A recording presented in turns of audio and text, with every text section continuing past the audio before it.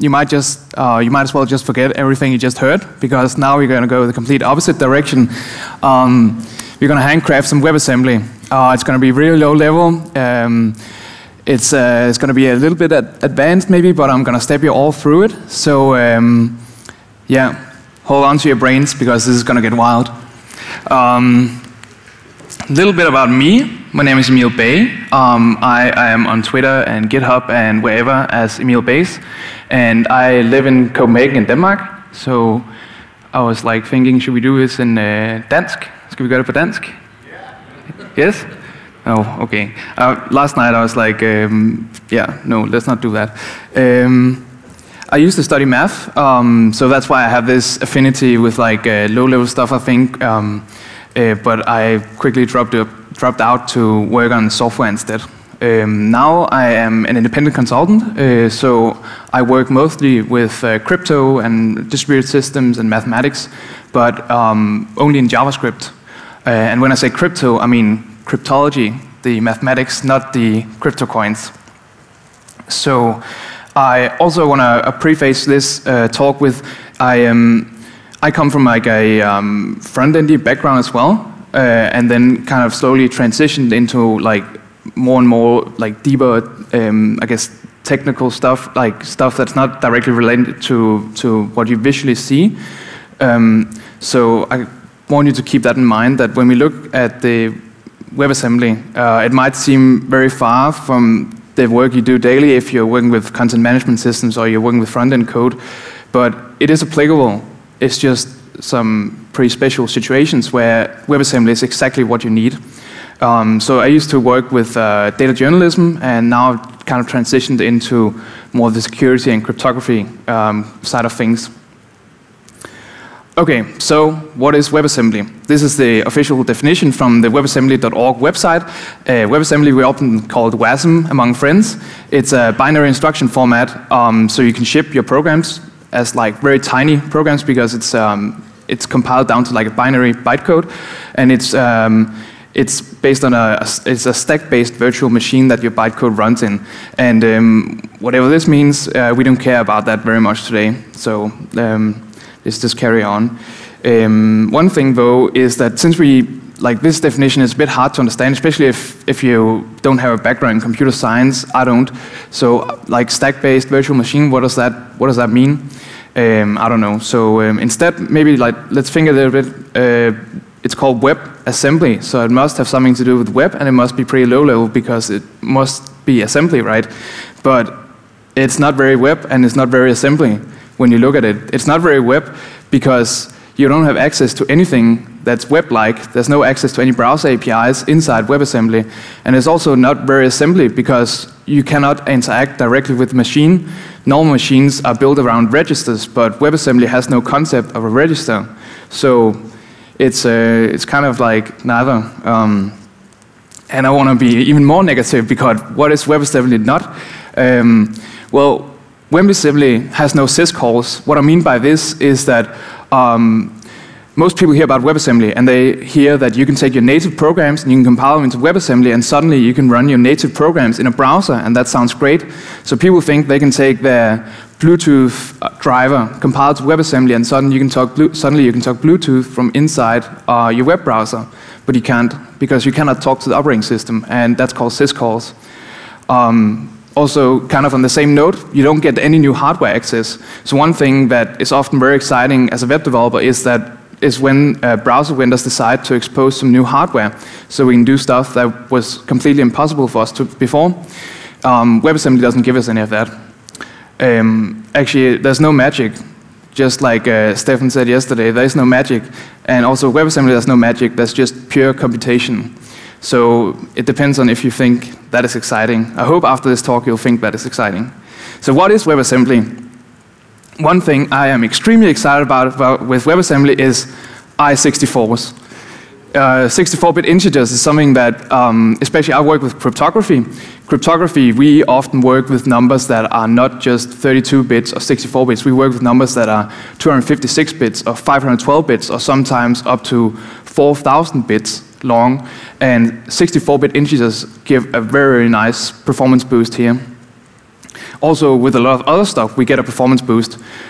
I've done some informal micro benchmarks, and WebAssembly, you get like straight down to the machine, but um, the browser vendors and especially the V8 team um, have optimized JavaScript so heavily that if I do micro benchmarks, so sit there and do some, some simple math, for example, then I only, I only get 20 to 30% performance boost by doing it in WebAssembly instead of doing it in JavaScript. So that means a lot of stuff in JavaScript is, is very fast, but with WebAssembly, the good thing about WebAssembly is that you get this surgical precision. With JavaScript, it can be very hard to predict what is this code going to compile down to. As we saw with uh, Sigurd's presentation yesterday, what is this code going to mean in the virtual machine, in the V8 virtual machine, or in the actual machine code. With WebAssembly, you know exactly what's going to happen, and it's also very predictable. You don't have to learn about the VM to understand what is this code going to translate into um, uh, in practice. And also another thing I am very excited about, JavaScript is always um, put out there as the only language you can run on any device because it runs on a browser and runs on mobile phones and runs on a desktop. But I think WebAssembly is going to take over that because WebAssembly soon is going to be the truly run anywhere language. Just the other day, I saw a project on GitHub where you can run WebAssembly modules in what's called Ring Zero, so as kernel extensions. So that means you could write WebAssembly loaded into the kernel of your computer, and because of the security guarantees that WebAssembly give you, gives you, you know that WebAssembly is not going to go talk on your network or like become a rootkit or um, or access devices like your keyboard to record what you're doing. WebAssembly is completely self-contained because of the sandbox, and I think that's extremely exciting. Also, Fastly, um, if you work with CDNs, Fastly have made it so that you can upload WebAssembly programs, and these programs are going to be deployed to all their POPs around the world, so their uh, points of presence.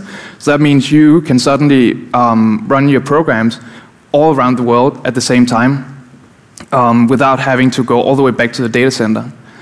Um, okay, so that was a lot of um, hand-wavy stuff. Uh, another thing I think is extremely exciting about WebAssembly is often when you see presentations about new stuff, um, it's kind of inspirational in the way that um, it's good to know about and you might be able to use it in a year or two.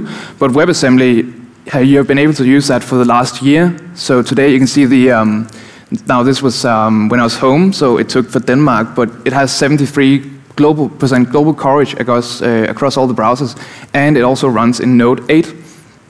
So it means you can use it today, and I'm using it today. I have a lot of WebAssembly in production. So, um, so yeah, that's very exciting. Um, okay, there's also that quote I showed earlier. There's also a second part to it because WebAssembly was actually not designed to be handwritten like we're going to do today. It was designed to be a compilation target, like a way to abstract away the actual physical machine. So you could take any code, compile it down to a portable format, and then run it anywhere. And this was kind of also what people uh, said about Java. That was their whole slogan, right? Compile, like write once, run anywhere. And that's also what WebAssembly kind of does. But um, now, when I started out with WebAssembly, I'm a JavaScript developer. I don't know C or C++ or Rust, and um, why do I have to, to learn, like, I'm going to learn a new language anyway. Why should it be any of these, and why shouldn't I just not learn WebAssembly? So instead of uh, going up a level of abstraction, we're going to go down the ladder of abstraction, down into WebAssembly. Now, WebAssembly is a bytecode format. Bytecode means binary, means everything is going to be hexadecimal, and um, that's not very human brain friendly. So instead, there's this thing called the WebAssembly text format. It's actually meant as like a uh, debugging language, um, but uh, I didn't know that. So I just decided to write it on my own by hand. Uh, last week, I was at the Node.js Collaborator, Collaborator Summit in, uh, in Berlin, and we talked, there were some browser vendors there, and we talked to the browser vendors, and especially we talked, I talked to um, Benedikt Meurer from the V8 team, and I told him that I was writing WebAssembly in text format, and he was like, why, why would you do that to yourself? But um, it's not actually that bad. Um, also, it has a very nice acronym. It's called WAT. So, and that's probably also what you, are going to say when, when you see the first uh, bit of, bit of um, WebAssembly code. One thing I want to make clear, though, I said it was a debugging language, but I think it's very important to say that this WAT format is a first-class language. It's officially supported by the WebAssembly working group. It's officially supported by all the browser vendors and the compilers. And um, and if you, uh, for example, Firefox, if you have a, a, website that's using a WebAssembly module and you open the DevTools in Firefox, it will decompile the WebAssembly module for you and write it in this text format. So that's also a reason to learn the text format, so you can have introspection into your code and learn to debug it. Okay, a lot of talk, no code. So let's look at some code. This is our first WebAssembly module. Doesn't look so scary, huh? Uh, well, it is a bit foreign, so I'm going to walk you through it. Um, well, okay, first of all, what we're going to do here is like kind of the hello world of WebAssembly. We're just going to compute the square of a number, and I know it, it seems like extremely contrived, but we're actually going to build on top of this example, so it's important to get the basics down. First thing you notice is that um, the syntax is very weird. It's called S expressions. Um, S expressions kind of had their origin in a language called Lisp, WebAssembly text format. What is not a Lisp? It's not a Lisp. I want to make that very clear. What it is, though, is it's abstract. It is, it is an abstract syntax tree, and abstract syntax trees are very nice to express in S expressions. So that's why they went with this format. Um, once you get used to it, you actually will grow to like S expressions a lot. I love coding in S expressions now. Um, the format is that you have the function you want to call as the first, first atom, it's called, in the S expression, and then you have your arguments on from there. Um, and when you read, when you read WebAssembly code, you start from the all the way from the end and you read outwards. Um, we're going to walk through how to read WebAssembly in just a bit. So that was the S expressions. Next thing you notice is just like with uh, JavaScript, ECMAScript modules, you need to define a module, and that's where you contain all your code. So um, yeah, basically that's just a bit of boilerplate in this case. Um, next thing is that we have these um, dollar sign things which are called labels. They're not variables, they're labels. They are human readable symbol names that we can use to, uh, to make the code a little bit more readable. Um, but once you compile your code, these are going to be replaced with numbers as to compress the whole uh, program into the binary format. Then we have types. Everything is extremely strictly typed. It's part of the security module, model. This way, when um, your browser downloads a WebAssembly module, it can verify that the WebAssembly module is well behaved and it's not going to do anything you don't want, and also that the module has no undefined behavior. If you've done a bit of uh, native programming, or like in C or C++, you know that it's filled with undefined behavior everywhere, and you have to be uh, very cautious what you do to not trigger any of this undefined behavior. That was a very big design goal of, um, of, of WebAssembly not to have any undefined behavior. It has some non-determinism, if that means anything to you, but it's in very special cases, and uh, I think it's about half a page on the WebAssembly website where you can read in what cases is it going to behave non-deterministically. Uh, but I don't really understand when it's going to behave non-deterministically yet. So we have the types. Here we are working with 32-bit integers. These are also the integers we have in JavaScript. JavaScript numbers are double floats, they're called, but you can also compress them down to 32-bit integers. For example, if you're using the bitwise operators, then this happens behind the scenes for you. So you can see we have the parameters i32, the result is i32, and the next thing that's i32 here is not actually a type as such. This is an operator. And the operators have this convention that the first part of the operator is the return type, and then after that we have whatever we want to do. So here in this case we have a mul. Uh, I know we just heard that we're not, we shouldn't name our things, uh, our functions like this, but that's just how it happens when you go to the to the lower level. That everyone wants short acronyms. So here we are multiplying our two numbers. Next thing you notice is that, um, as I said before, this dollar sign $x is not a variable, it's a label. So every time you want to access some data, you have to be very explicit and say, I want to access this piece of data, which has an index. And, but when we write the text format, we can use a label to make it a bit more readable. Um, access is, is also something that you want to optimize if you have hot code. And I think most of the time that people use WebAssembly, um, at least that's when I use WebAssembly, it's because I have some code I want to hand optimize and make very fast.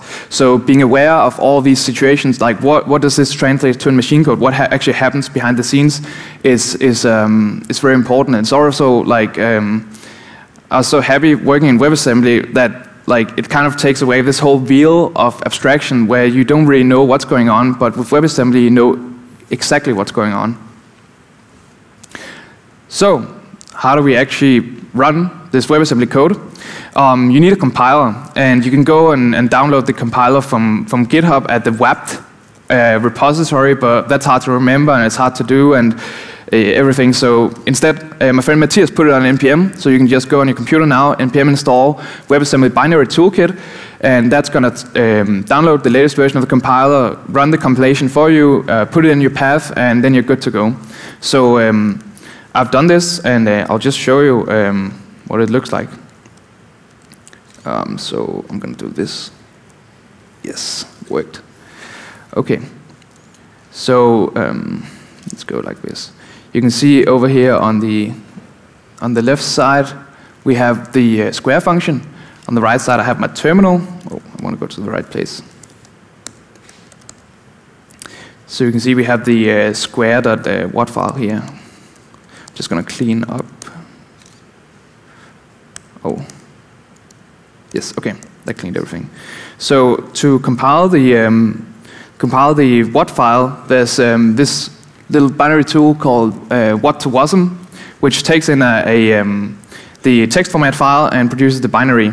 Uh, so let's just do that real quickly. And now you can see we have a square.wasm file here. And uh, if we look at that, it's a binary file, but we can still try and have a look what's inside the, uh, the WASM.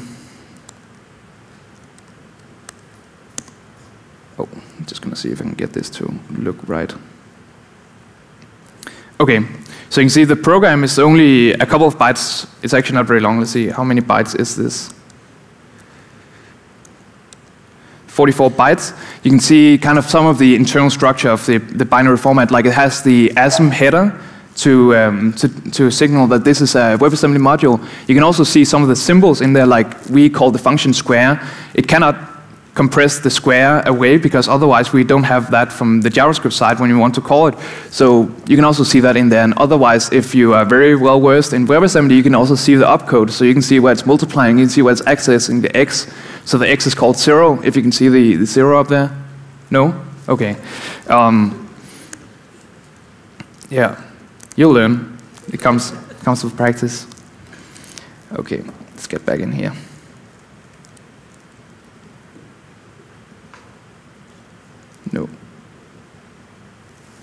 Cool.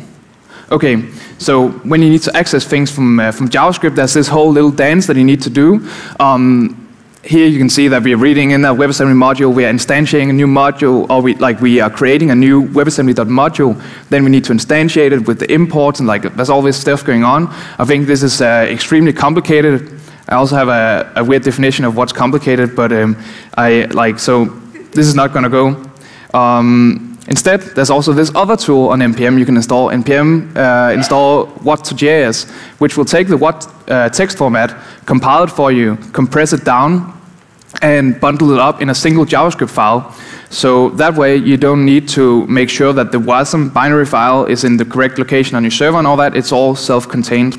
And um, so this works with, this works with Browserify and, and uh, Rollup and all these other modules. And I think actually Webpack has their own loader, so you don't need to use something like this. You can just uh, directly include the um, square.wasm file, and it will figure out how to load it and bundle it and make it self-contained. Um, yeah, so you call this. It's very easy. Um, just like before, call the wet what file, and then uh, we can choose where to output it. So output it to a square.js file, and uh, we're just going to try and do that. Um, do like this again.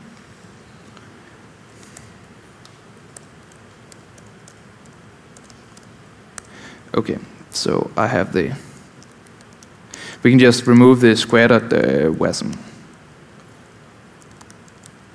WASM file, we don't need that anymore because we now we're going to make a self-contained uh, module. So we do the wat2js, taking our, what is the square dot what? And we output the square.js. Cool. And now we can see we have a square.js file. I can just quickly show you what it looks like, but it's not very important. Um, what it looks like um, on the inside. Um, it has some uh, some things like some extra uh, bells and whistles in here. Like it can tell you whether WebAssembly is actually supported in the runtime you're working within. You can see our WebAssembly module here is uh, encoded in, in base 64, so it can be shipped inside a something that's not binary. Then it has some stuff for helping you manage memory uh, because memory is manually managed in WebAssembly, which I'm going to show in a moment. And down here you can see that little instantiate um, dance that I had before is all handled for you. So, um, but this is like, you can just forget about this. I, I never look at this anyway. Um,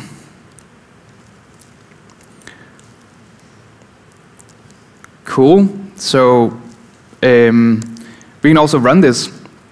Just include the bundle. Uh, it's going to put uh, out an object called export, where you can dot in and get the square function. And um, it returns 4, just like you'd expect.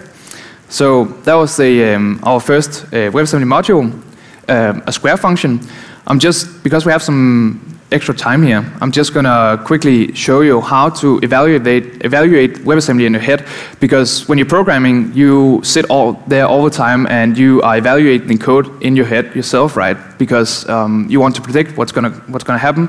So I have extended the um, the WebAssembly module just a little bit. I, in WebAssembly, you can also have them completely self-contained um, in the way that you can define a start function. So when the module is included, this function is run for you, and you get to do some stuff before JavaScript takes over. Or I think this is also going to be very useful if you embed WebAssembly in a context that is not JavaScript. Uh, so here I just made a main function like you do in, in C and C++, and uh, I call the square function, and you can see if you want to put in a number in WebAssembly, you also have to define it very specifically as a constant, which is another function call or another instruction. So we call the, the square.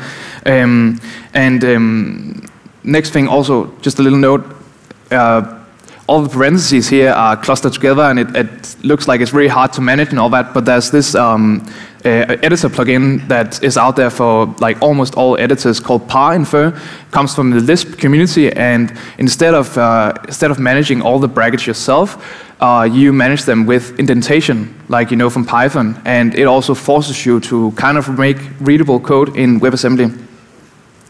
So let's try and evaluate the function. Um, in, when you're evaluating S expressions, you are just substituting, and um, so in this case, we can say that we know the, the constant 2 is loaded into the position that x um, signals. So we can just substitute that for the, for the, in here in the local axes. Then we can substitute the multiplication to 4. Then we can substitute the, the 4 out of here. You notice I have this drop thing. Um, this whole thing about being a stack-based VM kind of surfaces sometimes. You cannot just return things out into the void. You have to tell the WebAssembly VM that, okay, this value you just got back, it's not a bug. It's actually because I meant for you to just throw it away. And you can also see we can have no-op. So like this now is all evaluated into a no-op. Now because we're dropping it, it's also going to become a no-op, so nothing happens. Okay, so that was how to evaluate WebAssembly.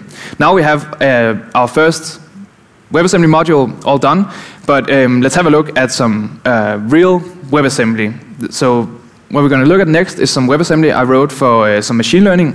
You can also use this WebAssembly in like a physics engine, or if you're doing um, like the um, the edge detection that uh, Martin showed yesterday.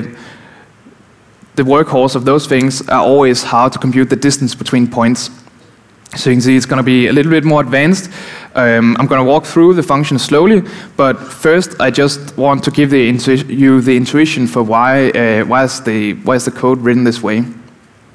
So we have two points. You want to figure out how far is it between the two points. Um, we're going to go back to grade school. Uh, this is my duty as a wannabe mathematician. I have to teach you some math here as well. So you can draw a little triangle and you can put it into a coordinate system. And uh, then there's this thing called uh, Pythagoras theorem. You know, a squared plus b squared equals c squared. We can rearrange a little bit. And now we get c, which is the green line. The distance is calculated by doing the square root of the squares. Boom, boom, boom.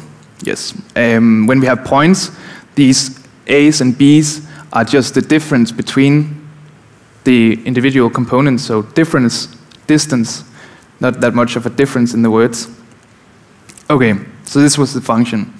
Uh, first thing I want to point out is that when I write WAT, I try to follow the same convention that you have the return type as the first part of the name, and then the operation that you're going to do after the dot. You can also see that I used a new type here, the F64. F64 is exactly like a JavaScript number.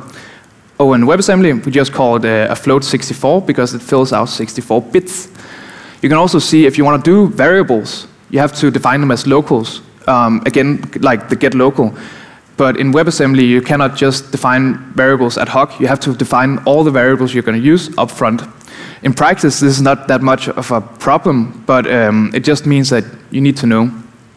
You can also see that now we are using a new uh, square root function um, on the, with uh, f64, and we know it returns a f64, and that matches up the, uh, with the result that we told um, WebAssembly we were going to use. And now we call out to the square function we had before um, and put in the, um, the two locals that we had here. But if we try to compile this, we get a type mismatch because our square function from way back um, returned i32, and i32s are not f64s, so you need to tell WebAssembly that you know what you're doing, you're going to convert these things. This is also one of the things that can be surprising in JavaScript, or people always, when they are trying to be negative about JavaScript, they're like, oh, everything is converted and you can plus strings with numbers and all this stuff. Not in WebAssembly. You have to tell WebAssembly that you know what you're doing and you're going to convert this.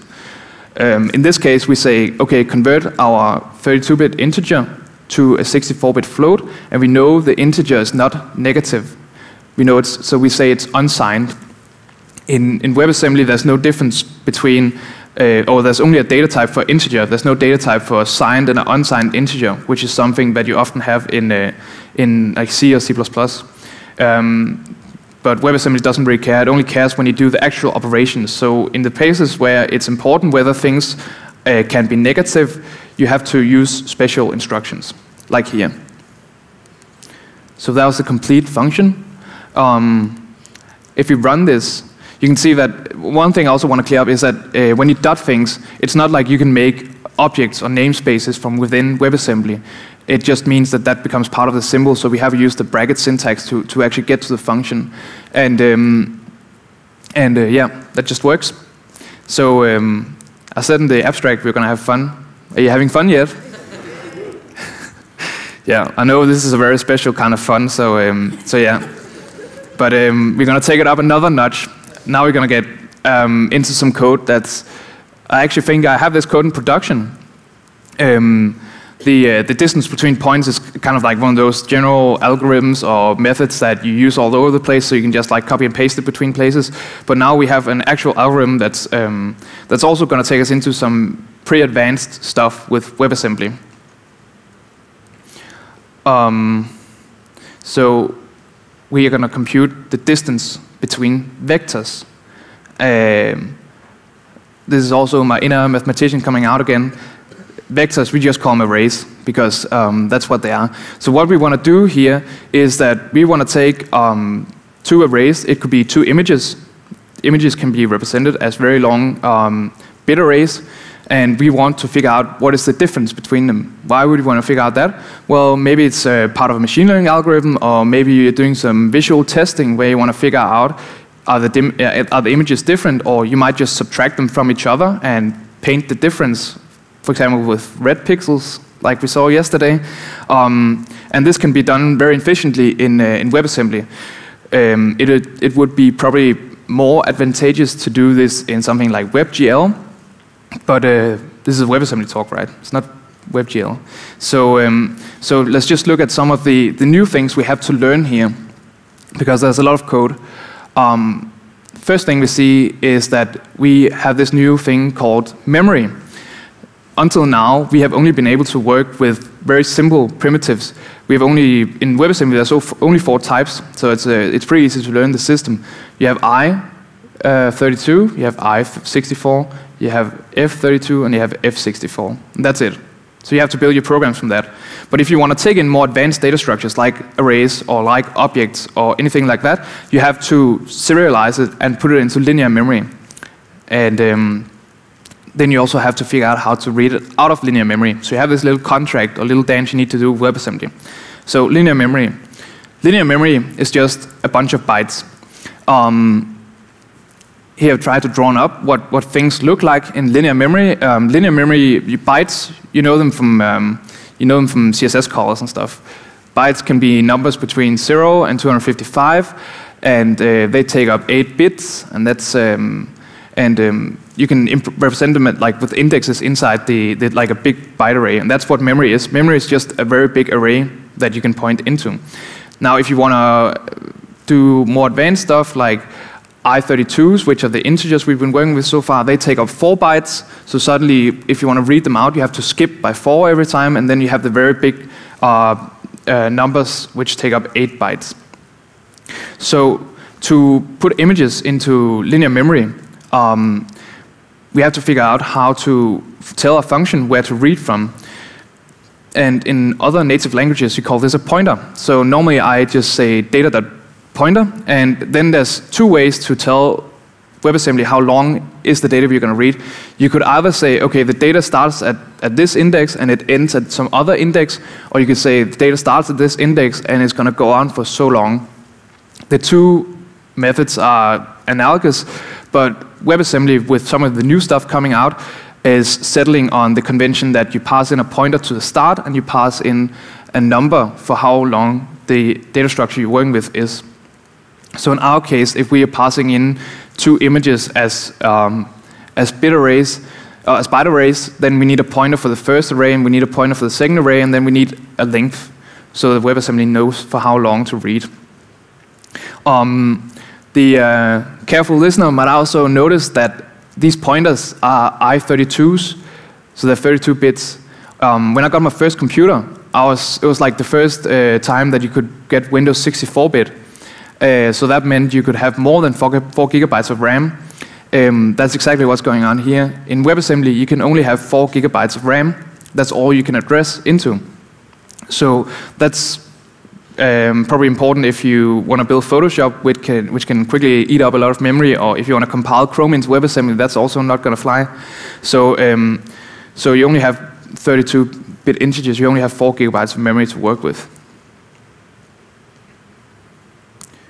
I just want to quickly show what it looks like if we need to write things into WebAssembly memory. Um, so the first thing is memory.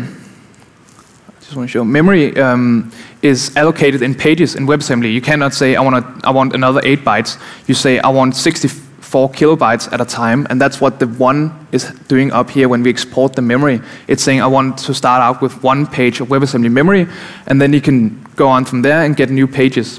So when we want to write in our two images, we have to make sure that there's enough memory available. So the first thing we do is we tell WebAssembly, make sure that you have enough pages of memory available for me.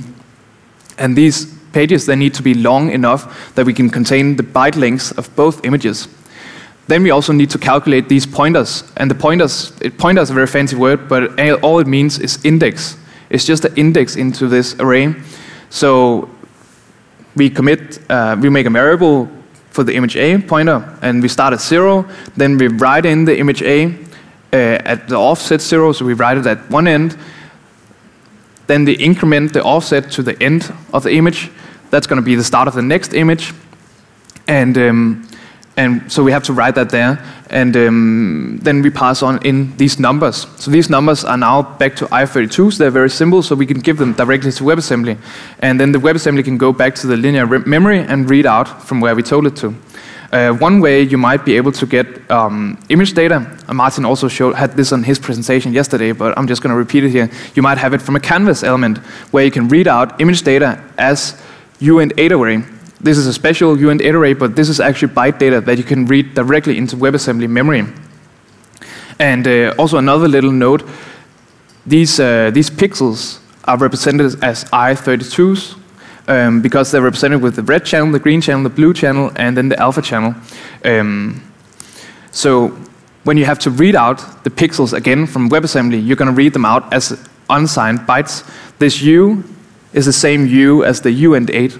So we're reading them out as unsigned bytes. You have to read them one pixel at a time. And because we're working with this index, and the index in a, is in a, it's not local to some image, it's global to the linear memory. So we have to do this pointer arithmetic where we say, okay, we know one image starts at the W pointer, and then as we increment and iterate over the arrays, we have to add them together all the time. So that's a bit different than we do in, in, uh, in JavaScript.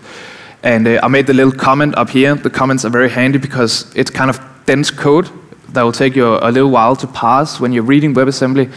Um, so you can see like the, the code up there is kind of JavaScripting. That's what we're doing.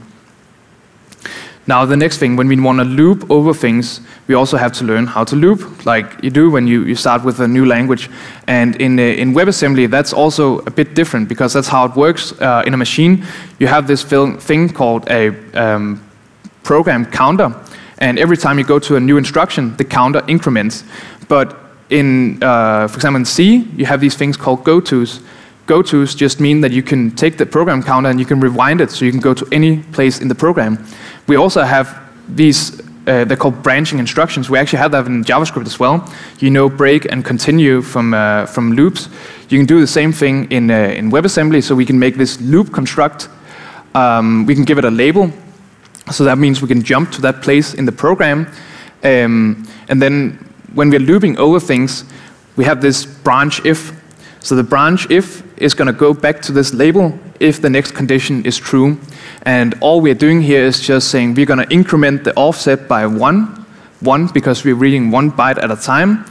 And then we're going to see are we at the end yet. If we're not at the end yet, we're going to loop back or branch back to continue and repeat our loop. So this is just, you just get used to this. Um, there's a couple of other of these like uh, branching instructions that you can use, um, but they're for more, more advanced purposes. You can also see that we had to define our counter. So you might call this i in a normal for loop, called offset here. You have to define that at the beginning of the function.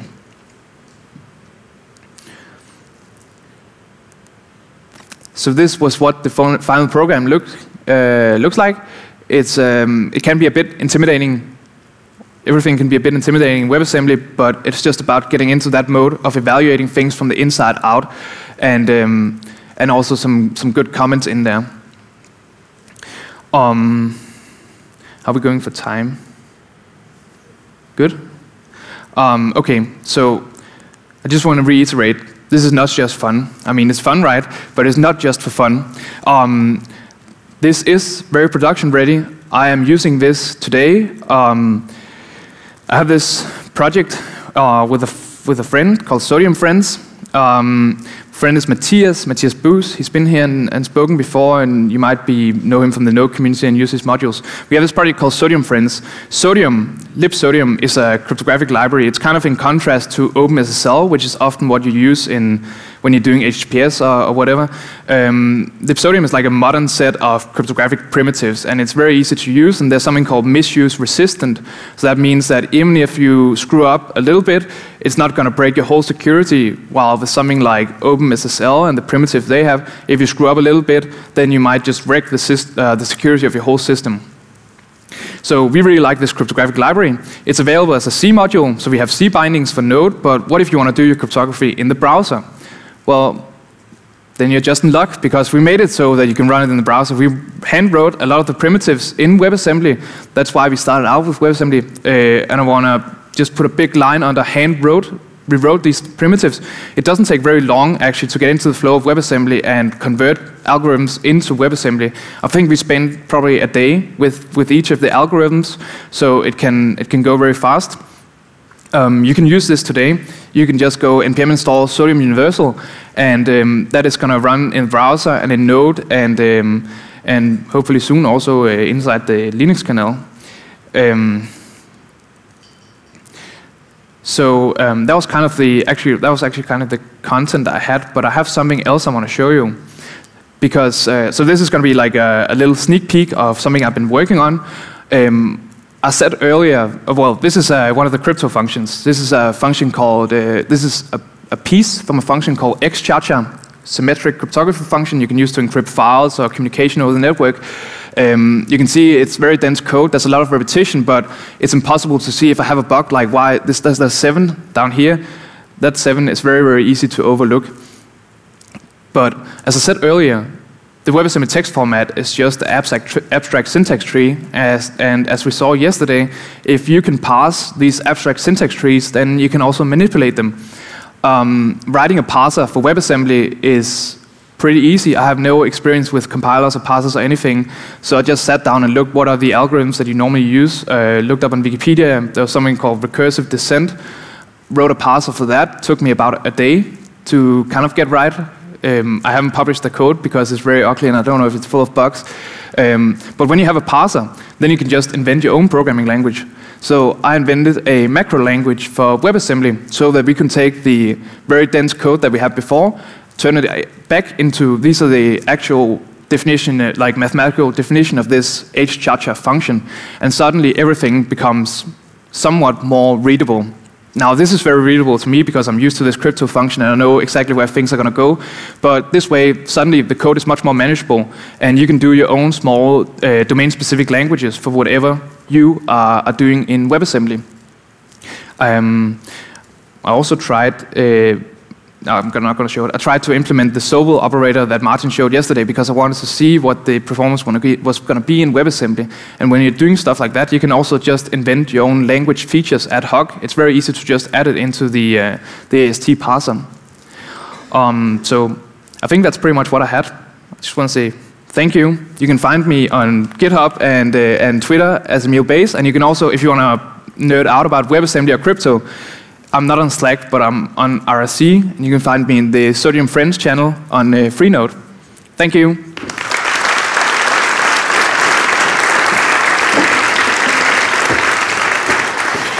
Thank you, Emil.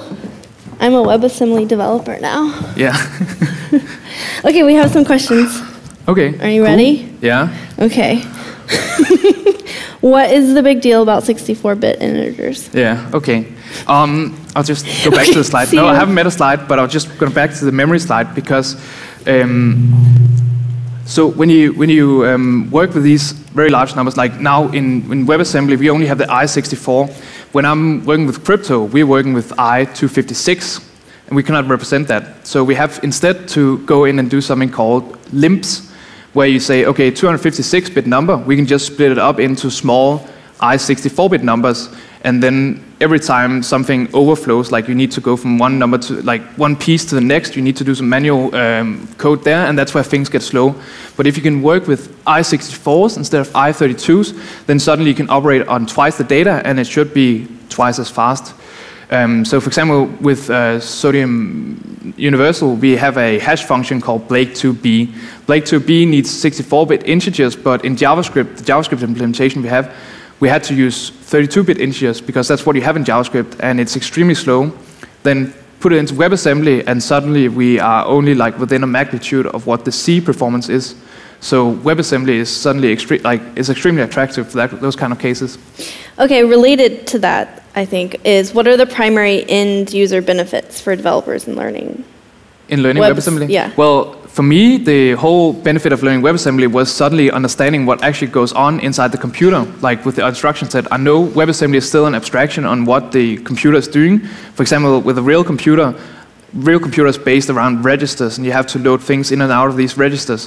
While WebAssembly, you have the locals, which are kind of like your virtual registers uh, or your variables that can only contain like very specific widths of data. Um, so for me, the whole thing was like, okay, what actually, how do you write a program when you cannot use objects and dot into things? Like you need to organize the memory.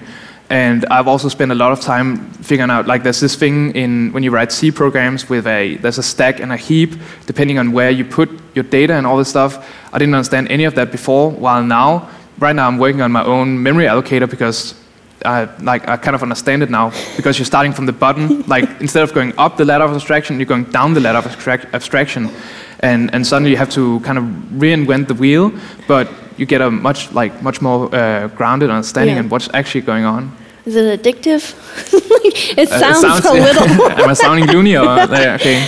All right, well, then the last question is what have you written that was the most fun or the most useful thing you're most proud of? Mm, I wrote. I've been working on. There's this uh, machine learning algorithm called K-means, and it's if you take a course in machine learning, which is like the hot topic right now, artificial intelligence.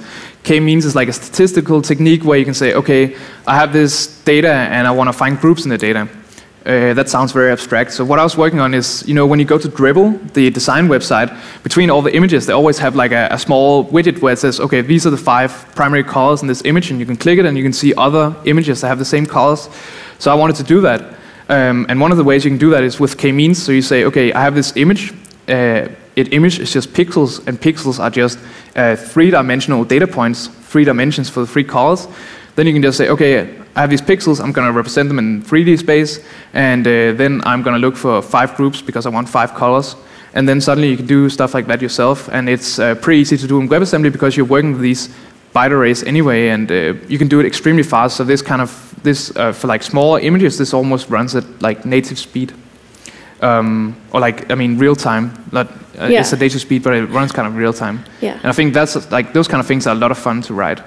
Uh, but it's just fun to geek out about this. It's kind of like puzzling the whole thing about like how do you organize this memory and then okay, there's no one to tell you how to do it and there's no magic and there's no help. Like I mean, of course there's help, but I mean um, it's not like you're gonna sit there and think okay, I just need to f- to to find the right API or something. It's because I don't know the API. No, you have to invent the API. You have Right. to figure out how am I gonna how am I gonna do this. So kind of I guess WebAssembly kind of appeals to people who are like into puzzling and that kind of stuff as well. Yeah. All right, thank you so much, Cool. Emil. Thank you.